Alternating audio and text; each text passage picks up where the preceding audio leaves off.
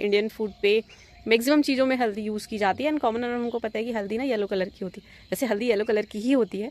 But uh, इस video पे ना मुझे थोड़ा सा इंटरेस्टिंग चीज़ लगी क्योंकि बहुत सारे जो स्टूडेंट होते हैं साइंस के ना uh, उनको इंटरेस्ट होता है हल्दी के फ्लावर्स को देखने पे। एंड मुझे भी था क्योंकि मैंने बहुत कम हल्दी का फ्लावर देखा हुआ है। तो आज ना एक मेरे यहाँ पर है एक हल्दी का फ्लावर और वो मुझे लगा कि दिखाना चाहिए आप लोगों को। अच्छा लगेगा ओके तो आइए देखते हैं हमारे हल्दी के फ्लावर को और उसके बाद में एक दिखाऊँगी हरे कलर की हल्दी होती कैसी है भाई? तो ये देखिए ये है एक हल्दी का पौधा। ये नीचे तो इस पर गांठ होंगी लेकिन आ, ये पौधा वैसे थोड़ा सा इसका हाइट अच्छा है। कुछ पौधों की हाइट जनरली थोड़ी कमी रहती है बट इसकी हाइट अच्छी है थोड़ा सा ज़्यादा शायद खाद पानी से मिल गया है।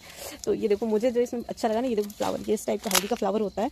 और ये फ्लावर ना बहुत कम ही प्लांट्स पे आपको देखने को मिलेगा। मतलब ऐसा नहीं कि मिल ही जाएगा लेकिन हाँ होता है।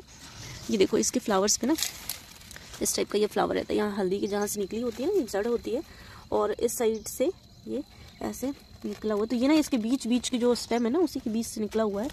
और अभी इसको ना कुछ कीड़ों ने भी खा रखा है, वरना तो ये अच्छा दिखता है सुंदर। अगर आप फ्रेश फ्लावर देखेंगे ना, प्यारा लगता है फ्लावर और बिल्कुल लगता ही नहीं कि भाई ये कोई हल्दी का पौधा के, का फूल मतलब इतना ब्यूटीफुल होगा बट ये अच्छा रहता है। बट अभी क्या है ना, ये थोड़ा सा प्लांट्स के बीच पे रहा है तो इसको कीड़ों ने अटैक कर दिया और भाई हमारे यहाँ पे पौधों को बचाने के लिए दवाइयाँ डाली जाती है बट ये है कि ये फ्लावर्स पे बस इफ़ेक्ट है।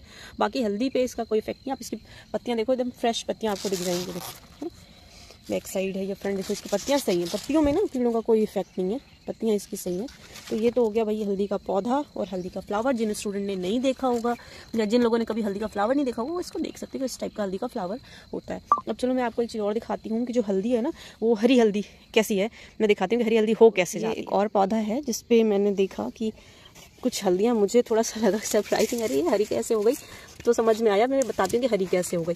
ये देखो पहले तो अच्छा इस पर भी ना एक फ्लावर था, जैसा कि हमने फ्लावर कवर किया ना, ये देखो, ये ना सूख चुका है। ये जो फ्लावर है ना, ये इसका सूख चुका है। देखो, आप साइड से देखोगे तो समझ में आ जाएगा, ये फ्लावर इसका था बट ये अभी सूख गया तो सूखने के बाद देखो ऐसा हो जाता है, फिर अपने आप ये झड़ के हट जाएगा। अब ना इसमें हल्दी ना ये साल भर की हो चुकी है तो अब इसकी हल्दी ये आपको इस साइड पे दिखेगी। जो मैंने हरी हल्दी बोला ना, देखो ये तो हरी हो कैसे गई है, कि इस पर जो मिट्टी का जो परत है ना, वो हट गया है। तो सनलाइट की वजह से ना ये ग्रीन कलर की हो गई। ये ये जो ये पार्ट है ना, ये वाला यहाँ से यहाँ तक, ये हल्दी का है। इसी को ना प्रोसेस करके फिर हल्दी पाउडर कन्वर्ट करते एक देखो ये वाला भी है, ये भी है, ये हल्दी ही है।